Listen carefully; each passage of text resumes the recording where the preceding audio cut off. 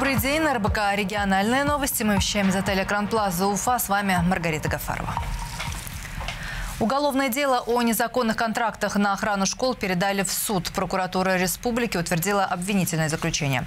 По данным следствия, бывший директор нефтекамской компании «Статус» Филус Ахмедзинов в 2018 году заключил договоры с директорами 19 школ и лицеев на охрану зданий и организацию в них пропускного режима. При этом компания не имела лицензии на оказание таких услуг.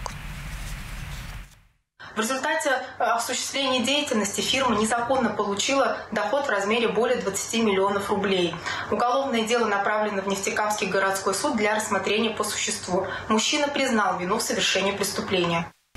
Теперь обвиняемому грозит штраф до 500 тысяч рублей, либо принудительной работы сроком до 5 лет, либо лишение свободы на тот же период со штрафом. Полигон добычи трудноизвлекаемых запасов планирует создать в Башкортостане. Инициативу на встрече с Радием Хабировым озвучил руководитель Роснедра Евгений Петров. Добыча трудноизвлекаемых запасов – новый вид недропользования. Лицензии на него выдают с прошлого года. Он нацелен на создание, тестирование и внедрение инноваций для разработки трудноизвлекаемой нефти и повышения нефтеотдачи. По прогнозам Роснедр, в этом году на территории ключевых нефтегазовых бассейнов страны может появиться 10 технологических полигонов. Сегодня Роснедра э, ориентированы прежде всего на рациональное пользование недрами. То есть мы сегодня фактически еженедельно отзываем по сотне лицензий у тех компаний, которые нарушают э, те обязательства, которые на себя взяли. Потому что, еще раз мы всем говорим, что право пользования недрами – это не только возможности, но и обязательства, которые берут на себя компании. К сожалению, не все компании это осознают, а пользуются только благами и возможностями, но не всегда соблюдают обязательства. В регионе по итогам прошлого года обороты компаний, которые работают в добыче минерально-сырьевых ресурсов, выросли в полтора раза до 300 миллиардов рублей. Вместе с тем в республике есть случаи самовольной добычи. Предприятия не предоставляют отчетность, не платят налоги, не соблюдают лицензионные требования. Сейчас мы жестко контролируем соблюдение условий лицензии и экологического законодательства.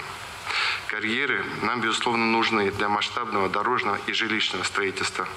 При этом мы обязаны обеспечить баланс между экономикой и экологией. И нельзя притеснять в то же время и предпринимательскую инициативу. Поэтому здесь нужна деликатная, очень вдумчивая работа. Напомню, в республике создана межведомственная комиссия по вопросам работы недропользователей. В прошлом году ею проведены 32 проверки, в ходе которых обследовали все карьеры в семи районах республики. В результате сформирован реестр из 355 действующих и 96 заброшенных карьеров. Сейчас комиссия пытается привлечь к ответственности недобросовестных недропользователей, чтобы те выполнили все обязательства, в частности, рекультивировали места добычи. Инвесторам предлагают вложиться в создание кирпичного завода в Мишкино. Бизнес-предложение разработала корпорация развития Башкортостана. Бюджет проекта составляет 155 миллионов рублей. Кроме финансовых показателей, в бизнес-предложении обозначены меры государственной поддержки. Инвестор может рассчитывать на предоставление земельного участка в аренду без торгов, налоговые льготы и включение проекта в перечень приоритетных. Мишкинский район богат запасами строительных материалов – глины, песка, агроруды. На его территории имеется четыре месторождения кирпичных глин и суглинков.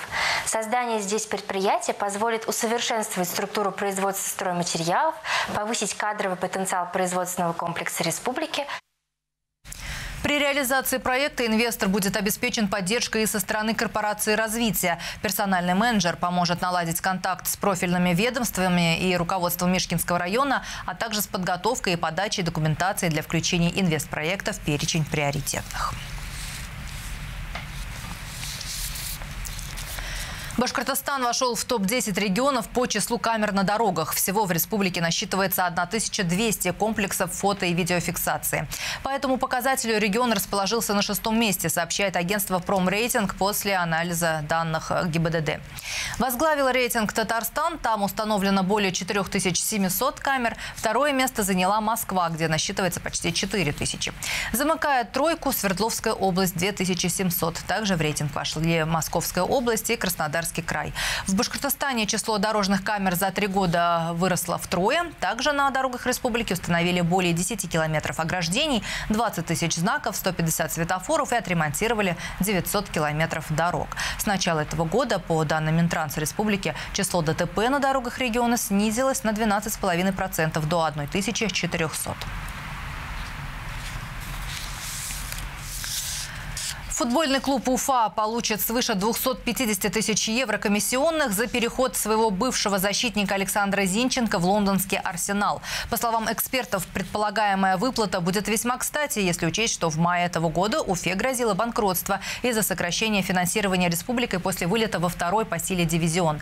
Однако, по словам генерального директора Шамиля Газизова, инвестирование средств в приобретение новых игроков в ближайшее время не планируется. Финансовая обстановка такая, которая была. У нас стабильная ситуация. Мы все, что надо, сделали, и команда укомплектована. Это обычный процесс для футбольного клуба. Если молодой футболист перепродается ну, в других клубах, идет компенсационная выплата. Это закон ФИФА, поэтому здесь никаких сложностей нет. Напомню, Александр Зинченко играл за Уфу с февраля 2015 по июль 2016 года, после чего перешел в английский клуб Манчестер Сити за 5 миллионов евро. Согласно регламенту ФИФА, при переходе игрока в новую команду процент от суммы трансфера должен быть перечислен клубом, воспитывающим футболиста в возрасте от 16 до 23 лет. Переход в Арсенал обошелся канониром примерно в 35 миллионов евро. На этом у меня все. Увидимся на РБК. Всего хорошего.